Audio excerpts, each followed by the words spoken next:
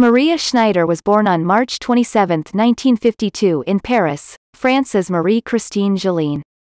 She was an actress, known for Last Tango in Paris, 1972, The Passenger, 1975, and Memoirs of a French Whore, 1979. She died on February 3, 2011 in Paris.